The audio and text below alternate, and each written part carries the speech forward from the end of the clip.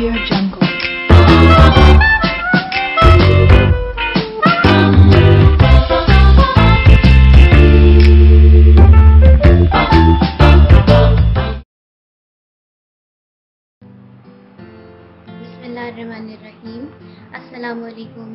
क्या हाल है आप सबके? आज मैं आप सबको चिकन पालक बनाना सिखाऊँगी, जो बहुत ही मज़ेदार बनते हैं। वैसे तो अक्सर जो पालक बनाई जाती है, चाहे बीफ में मटन में या चिकन में, अक्सर लोग जो होते हैं, पालक को बॉईल करके उसको पीस लेते हैं और उसके बाद उसको बनाते हैं। लेकिन मैं पालक को जो है, वो ब्लेंड नहीं करती बिल्कुल भी। अब मैं किस तरह से बनाती हूँ, देखिए पहले मैं आपको इसके अज्जा बता दूँ, उसके बाद मैं आपको तरीका बताऊँगी। सबसे पहले यहाँ पे मेरे पास मौजूद है आधा किलो चिकन एक किलो पालक मैंने ली थी तो वो कटने के बाद तकरीबन तीन पाव के करीब है। इसी तरह से मेरे पास स्पाइसेस हैं। One table one teaspoon नमक है। One and half tablespoon लाल मिर्च पाउडर है। एंड हाफ़ टी स्पून मेरे पास हल्दी है। अदरक लहसुन का पेस्ट है वन टेबल स्पून यहाँ मैंने हरी मिर्चें ली हुई है, मोटी वाली। तकरीबन भी आठ से दस अदद ली है। दो मीडियम साइज़ की प्याज मैंने स्लाइस करके रखी हुई है। इसी तरह से मेरे पास तीन मीडियम साइज़ के टमाटर थे जिसे मैंने चॉप कर दिया है। यहाँ पर मेरे पास एक गड्डी सोए की है। मैंने इसको धोकर काट के रखा हुआ है। चले आए देखते हैं कि इसे किस तरह से पकाना है।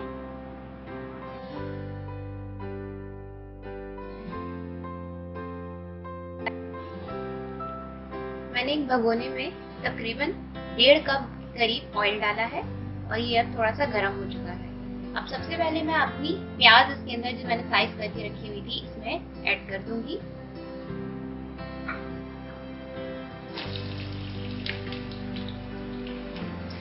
प्याज को हमने लाइट गोल्डन कलर देना है।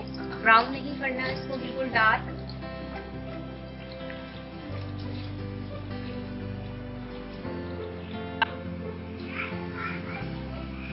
देखिए, हमारे पास प्याज ब्राउन हो चुकी है। अब हम इसमें अपनी चिकन ऐड कर देंगे।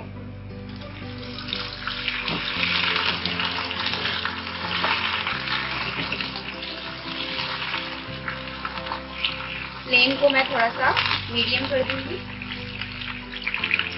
और साथ ही इसके अंदर अदरक लहसुन का पेस्ट ऐड कर दूँगी।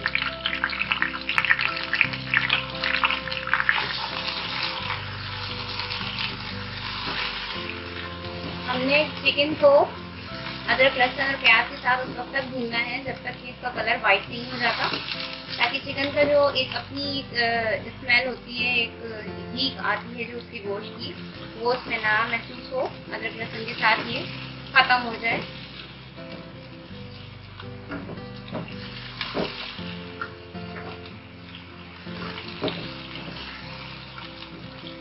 देखिए, अब ये तकरीबन हमारे पास चिकन जो है वो वाइट कलर की हो चुकी है। अब इस लेवल पे मैं इसके अंदर अपने स्पाइसेस ऐड कर दूँगी। और साथ ही टमाटर ऐड कर दूँगी। हमने यहाँ पे टमाटर को भूनना नहीं है, ना ही इसको नरम करना है। जस्ट इसको मिक्स करें आप मसालों को अच्छी तरीके से, और इसके बाद हम इसके अंदर पालक ऐड कर देंगे। मैंने इसके अंदर पालक भी ऐड कर दी है, और अब मैं इसको अच्छी तरीके से मिक्स कर दूँगी। मिक्स करने के बाद मैं तकरीबन 15 मिनट के लिए इसको ढक कर रख दूँगी। मीडियम लो फ्लेम के ऊपर। पालक अपना पानी छोड़ेगी और उसी में ही चिकन भी गल जाएगी और टमाटर भी गल जाएँगे। 15 मिनट के बाद मैं ढक्कन खोल के देखती हूँ। चले, पालक को पकते हुए तकरीबन 10 मिनट हो चुके हैं। मैं इसको खोल के देख रही हूँ। देखिए, इसमें काफ़ी पानी पालक ने छोड़ दिया है। पालक हमारी बिल्कुल बैठ गई है। टमाटर भी हमारे घुल गए हैं। अब इस लेवल पे आपने इसके अंदर जो है वो अब हम यहाँ पर देखिए, जब टमाटर भी बिल्कुल बैठ गए पालक भी बैठ चुकी है पानी में, अपने ही यहाँ पर मैं अब इसके अंदर सोया ऐड कर दूँगी। जो मैंने काट के रखा हुआ था, वो मैं इसमें ऐड कर दूँगी पूरी। और इसको अच्छे से मिक्स कर दूँगी। मिक्स करने के बाद मैं तकरीबन पाँच से सात मिनट मजीद इसको कवर करके रखूँगी।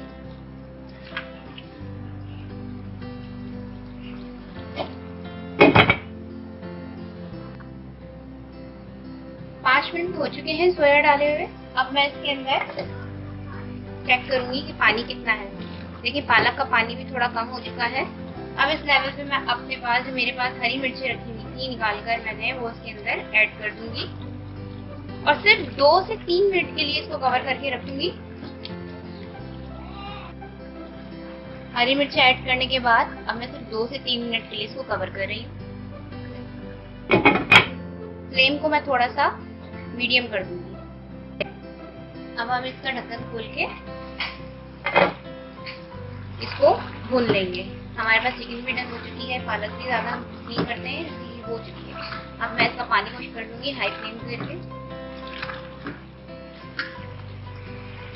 हरी मिर्ची डालने के बाद मैंने दो मिनट इसको कवर इसलिए किया था ताकि थोड़ी सी इसके अंदर जो है इसकी खुशबू और इसका टेस्ट जो है वो पालक में आ जाए।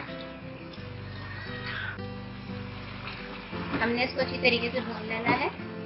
ज़्यादा ज़ोर ज़ोर से चमचे नहीं चलाइएगा, क्योंकि चिकन है, ज़ाहिर है वो टूट भी सकती है। पालक का पानी हमारे पास आधे से ज़्यादा जो है वो ड्राई हो चुका है। तकरीबन पाँच से सात मिनट इसको मजीद भूनेंगे।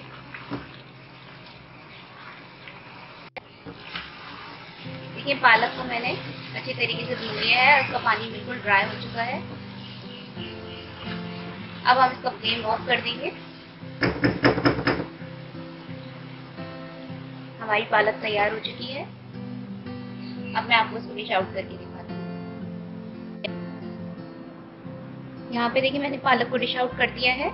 हमारा पालक चिकन तैयार हो चुका है। बहुत मज़े का होता है ये, आप ज़रूर ट्राई करें।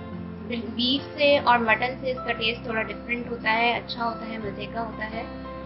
आप इसको ज़रूर ट्राई कीजिए और अपना फीडबैक कमेंट्स के ज़रिए मुझ तक ज़रूर पहुँचाइए। मेरी वीडियो को लाइक करना ना भूलिएगा और चैनल को ज़रूर सब्सक्राइब कीजिएगा। इन ताला नई रेसिपी के साथ फिर हाजिर होंगी। जब तक के लिए अल्लाह हाफ़